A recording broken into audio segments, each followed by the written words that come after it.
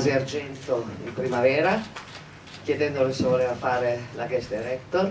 Ho pensato a lei perché, perché è una donna di cultura, perché fa un sacco di cose, è attrice di cinema, di teatro, performer. Eh, a un certo punto poi smettiamo. Sì, no, ecco basta. eh. Ciao, veramente. Performer. No, basta, no, basta, basta.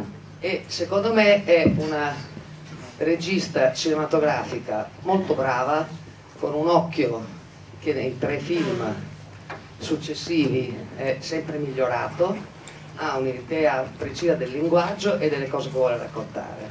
Per cui ho detto, ci provo.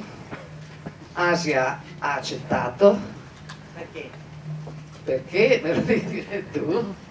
Ah, va, questo si sente? Sì, Sente? sì, sì, sì. Ehm, perché ci è venuta subito l'idea. Perché lei, Lei lei, è venuta, lei è però venuta, tu hai abbracciato venuta. così lei è colta al volo. Subito. L'ho colta al volo perché è un'idea bella. Perché intanto- conoscevi tutti i film? No, ma intanto perché come avendo fatto, voi sapete, due anni di retrospettiva New Hollywood, andava comunque a pescare in quel bacino di cinema che amiamo moltissimo tutte e due, no?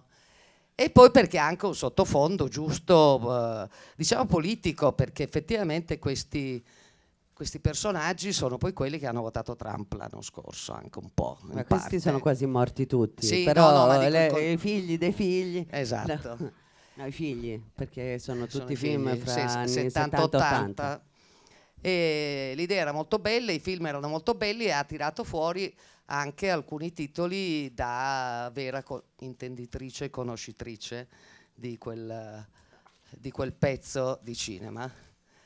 E vabbè, adesso parla tu. Allora, eh, sì, ehm, ma dammi il tuo, che questo mi sembra tutto vattato. Sono, ecco, questo, ah sì, sì, si sente molto meglio. Ehm, sì, io in realtà questi, questi film secondo me sono tutti questi che ho scelto eh, e che grazie a Dio sono riusciti a trovare perché alcuni immagino che sia stato anche difficile. Ehm, sono come tutti cugini, fanno parte della stessa famiglia. Beh, ci sono tre registi europei, Wenders, eh, Herzog io, e quindi anche un- un'America vista da, mm, dall'esterno. Eh, comunque eh, affascinata mm, eh, da- dalla desolazione di questi luoghi che non si conoscono, si conoscono di meno. Noi mm, conosciamo meglio New York o Los Angeles, però chi è stato in Tennessee, in South Carolina, eh, oppure anche in Wisconsin, sono tutti nomi che abbiamo sentito, ma pochi di noi hanno visitato. E in effetti sono affascinanti, secondo me, per, per me. Quando sono andata poi, beh, sono, questi sono tutti film a cui mi sono ispirata per quello che poi ho girato io. E quando poi sono andata a fare i sopralluoghi, io ero affascinatissima, ero innamorata da questi luoghi in realtà architettonicamente spaventosi, eh, questi parcheggi, questi mm, malls, questi grandi magazzini, questi mm, fast food, ehm, questi supermercati. Io mi sembrava tutto bellissimo. E, mm, o, o se non altro affascinante perché sconosciuto. E, e poi per, ehm, per uccidere l'ignoranza ci vuole solo questo, la conoscenza. E si, si impara anche ad amare, perché poi per raccontare dei personaggi nel film che ho fatto, ah, in realtà non sono tutti fra il 70 e 80, perché il mio è del 2004, Ehm, è figlio però di questi cugini. E, eh, c'è- ci, dovevo amarla per raccontarla, anche per raccontare dei personaggi abbastanza abietti come quelli del mio film, ma anche come quelli del film che vedremo stasera, Out of the Blue. Io non so neanche se uscì in Italia nelle sale. Io credo, credo, no, scusa. Sì, sì, credo, credo, sia, credo sia uscito, probabilmente abbastanza in ritardo, forse aveva anche un sottotitolo. Eh, no, non c'è, mi pare che avesse anche un secondo titolo. Come? Snack Bar, Bar Blue, Blues. però non era in italiano, era un altro ancora, credo. Eh, comu- comunque, Forza cinefili. comunque, Tanto è, è Out of the Blue, è la canzone di Neil Young, che poi è nel film, che poi Kurt Cobain eh, nella sua lettera di addio al mondo l'aveva citata e diceva It's better to burn out than to fade away. È meglio bruciare via che sparire lentamente. E- È un po' quello che succede alla protagonista del film, che è interpretata da questo genio, Lina- eh, Linda Manz, che poi fu recuperata da Harmony Corinne per il suo primo film, che anzi Gammo ci, dovrebbe- ci doveva stare questa retrospettiva assolutamente, e si vede lei, e non so dove l'ha beccata, eh, che a un certo punto balla il tip tap ehm, in un eh, basement, in un, eh, come cacchio si dice? In un sotto- so- sottosuolo, sotterraneo.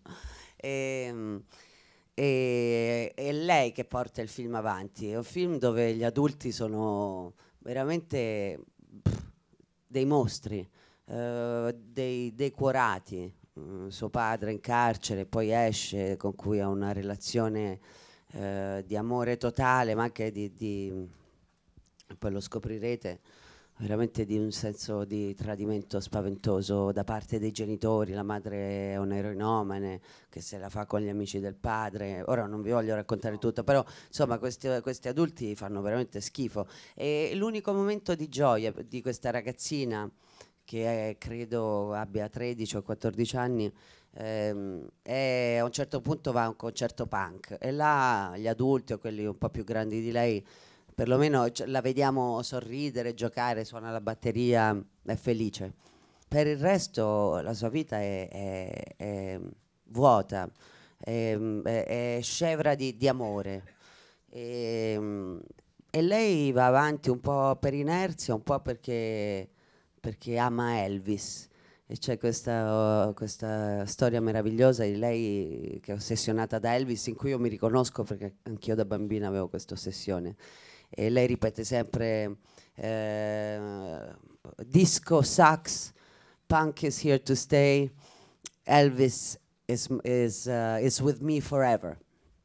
E, è, è un film fatto di poche cose, poi fra l'altro in realtà è stato girato pure in Canada, infatti noi Sì, ci dicevamo, America, sì, eh, no, no, perché- per tax credit come tutti girano a Esatto. Torino per lo stesso motivo, sto scherzando, ma non ridete tanto da queste parti, ecco, oh, dai. Eh, sono- si gira spesso in Canada facendo finta che sono in- gli Stati in, Uniti. In quegli anni gli americani giravano tantissimo in Canada, però era America in realtà, quindi era States. Vabbè, Northern, sì, Northern America. E, e comunque io ho avuto la fortuna di lavorare due volte con Dennis Hopper, eh, era un mio amico. E quando ci lavorai per la prima volta, in realtà stavo scrivendo Ingannevole il cuore più di ogni cosa. E mi ero ispirata molto nella scrittura al suo film e continuavo a fargli sempre domande da fan mi ha raccontato tantissime cose straordinarie. Eh, lui non doveva dirigere questo film, in realtà era un altro. Eh, che poi non andava bene e a un certo punto deve aver avuto degli screzi con Dennis e, e è stato mandato via e lui ha preso le redini del film e l'ha finito lui, l'ha, l'ha finito, l'ha continuato. È un film veramente libero, io amo tantissimo Hopper eh, come attore naturalmente, ma è un regista straordinario, è stato un regista straordinario.